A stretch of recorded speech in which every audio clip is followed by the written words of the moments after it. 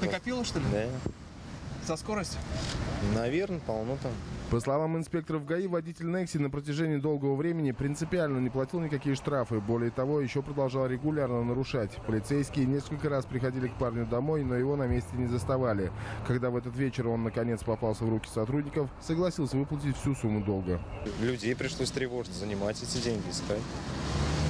Сейчас на месте будет? Да. А это за какой срок такая сумма набралась? За год? За два.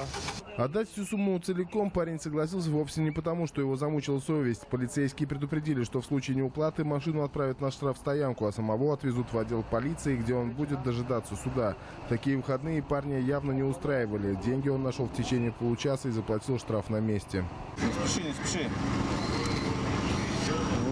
Как по-нормальному, да? Как положено. Помимо должников, также попадались автомобилисты, состояние которых вызывало много вопросов у инспекторов. Так, владелец «Лады Приоры» после встречи с друзьями торопился поскорее добраться до дома, но не смог выехать даже с Мирного. Увидев огромное количество инспекторов, водитель растерялся, стал нервничать и таким образом сам выдал себя. Спиртное сегодня не Ничего употребляли? не употреблял. Не Трезвый? знаю, конечно. Проходить все будете, да, свидетельство? Все нормально. Это только в начале мужчина был готов пройти тест на наличие алкоголя в крови, но потом, видимо, понял, что нет в этом никакого смысла. Прав его все равно лишат, поэтому дуть в трубку алкотестера отказался.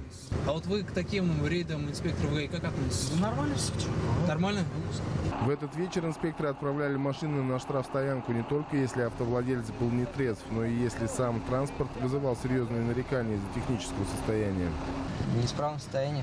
Обязуюсь а, устранить ближайшее. А что там именно неисправно? Рулевая рейка. За короткое время э, сотрудник ГИБД составлено 35 э, материалов за нарушение правил дорожного движения. Это водитель один за управление с признаком алкогольного опьянения. Э, 15 водителей привлечены э, за управление без полюса ОСАГО. 8 водителей привлечены за перевоз детей без детского удельчивого устройства. Работа продолжается. Результатами подобных рейдов инспекторы всегда довольны, поэтому эту практику полицейские будут продолжать и дальше.